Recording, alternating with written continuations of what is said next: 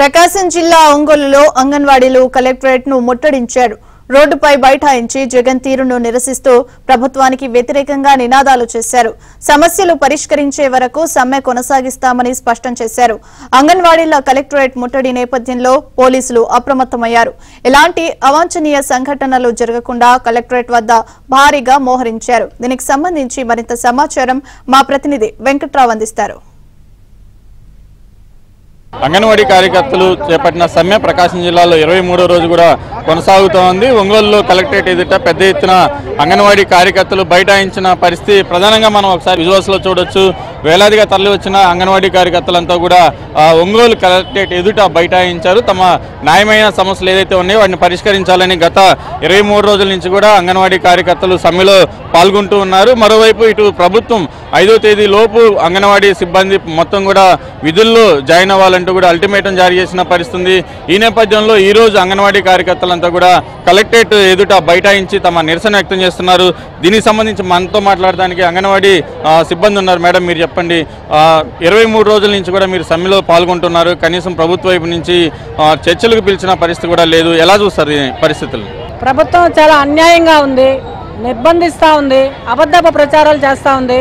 మోసపూరితమైన మాటలు బెదిరింపులకు తోటి ఉన్న మాటలు దొంగ జీవోలు అల్టిమేటం రిలీజ్ చేసింది.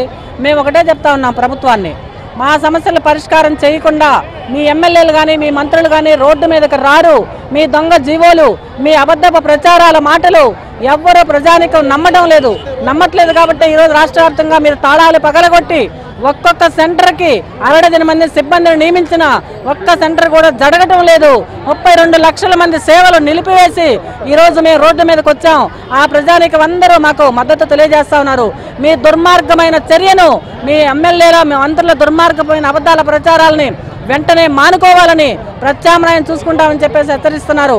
అంగన్వాడీలు కూడా తెలుసు రేపు మార్చి ఏప్రిల్లో ప్రత్యామ్నాయం చూసుకోవడం మీకే కాదు మాకు కూడా తెలుసు. మేము భయపడటానికి మీ బెదిరింపులకి మీ దొంగ జీవులకి మేమేమి మీ ఎమ్మెల్యేలం కాదు మంత్రులం కాదు. అంగన్వాడీ కార్మికులం పరిపాలన మీ ప్రభుత్వానికి కొత్త ఏమి కానీ పోరాటం అంగన్వాడీలు కొత్త ఏమి కాదు. ఇంతకన్నా పెద్ద పెద్ద ప్రభుత్వాలను పడగొట్టిన చరిత్ర అంగన్వాడీలకు ఉంది. మేమేం భయపడం. కాబట్టి వెంటనే మా సమస్యలు పరిష్కారం చేయకపోతే మీ తాడేపల్లి ప్యాలెస్ కూడా ముట్టడి చేస్తామని చెప్పేసి హెచ్చరిస్తా ఉన్నాం. అంటే ఐదో తేదీ అందరినీ విధుల్లోకి హాజరవ్వమని చెప్పని అల్టిమేటం జారీ చేస్తారు. దాన్ని ఎలా చూస్తారు ఎవ్వరం చేరే సమస్య లేదు. అదే చెప్తున్నామండి. ఎవ్వరం భయపడే పనే లేదు. భయపడే పనే లేదు. అంగన్వాడీల చరిత్ర తెలుసుకొని ప్రభుత్వం మెలగాలి. అంగన్వాడీల సత్తా తెలుసుకొని మెలగాలి. మీ బెదిరింపులకు మేమేం భయపడే పని లేదు. అందరం ఐదో తారీఖు ఇంకా ఎక్కువ సంఖ్యలో పాల్గొని పెద్ద ఎత్తున పోరాటం చేస్తున్నాం. మీ జీవోనే మేము తగలబెట్టేస్తా ఉన్నాం. ప్ర- తొందరలో మీ ప్రభుత్వాన్ని కూడా తగలబెట్టడానికి సిద్ధంగా ఉన్నాం. కాసుకోమని చెప్పి హెచ్చరిస్తా ఉన్నాం.